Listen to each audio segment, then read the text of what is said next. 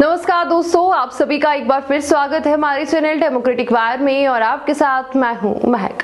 दोस्तों, आगे बढ़ने से पहले मेरी आपसे अपील है कि वीडियो को ज़्यादा से ज़्यादा शेयर कर ले और चैनल को भी ज़रूर सब्सक्राइब कर ले।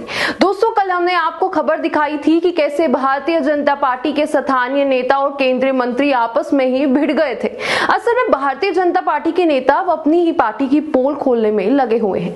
दोस्तों, खबर जो है वो कर्नाटक से है। यहाँ विजयपुर से बीजेपी के विधायक बसंत गौड़ा पाटिल यत्नाल ने चेतावनी दी है। चेतावनी कहिए या फिर धमकी? भाजपा विधायक बसंत गौड़ा पाटिल यत्नाल ने कहा कि मैं उन लोगों के नाम बताऊँगा जिन्होंने कोरोना महामारी के दौरान लूटपाट की है और अकूत संपत्ति बनाई है। कोरोना की पहली लहर में बी एस येदियुरप्पा मुख्यमंत्री थे। उस समय चालीस हज़ार करोड़ रुपए का गबन हुआ है। उस समय प्रत्येक कोरोना मरीज़ के नाम पर आठ से दस लाख रुपए का बिल बनाया गया था।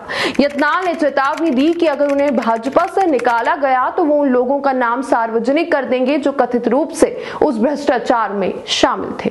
दोस्तों, अभी तो कर्नाटक में कांग्रेस की सरकार है, लेकिन इससे पहले बीजेपी की सरकार थी और मुख्यमंत्री थे बी एस येदियुरप्पा। अब इनकी ही सरकार पर इनके ही विधायक ने इतना बड़ा आरोप लगाया है। साथ ही भाजपा नेता बसंत गौड़ा पाटिल ने धमकी भरे अंदाज में कहा, उस समय हमारी सरकार थी, लेकिन इससे कोई फ़र्क नहीं पड़ता कि सत्ता में किसकी सरकार थी। चोर तो चोर है। बीजेपी विधायक यही नहीं रुके। उन्होंने आगे कहा कि येदियुरप्पा सरकार ने कोविड के समय पैंतालीस रुपए के मास्क के लिए चार सौ रुपए तय अदा किए थे।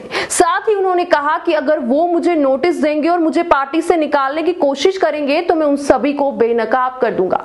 सच कहा जाए तो सभी को डर में रखा जाना चाहिए। अगर हर कोई चोर बन जाएगा तो राज्य और देश को कौन बचाएगा? अब बीजेपी विधायक बसंत गौड़ा पाटिल यत्नाल के इन आरोपों का मौजूदा मुख्यमंत्री सिद्धारमैया ने जवाब दिया और कहा कि बीजेपी विधायक बसंत गौड़ा का ये साहसिक आरोप कि येदियुरप्पा के नेतृत्व वाली पिछली भाजपा की सरकार में कोविड के दौरान चालीस हज़ार करोड़ रुपए के भ्रष्टाचार हुए हैं। उनके आरोपों ने हमारे पहले के सबूतों को और भी पुख्ता कर दिया है, जिसमें हमने आरोप लगाया था कि भाजपा सरकार 40 फ़ीसदी कमीशन की सरकार थी।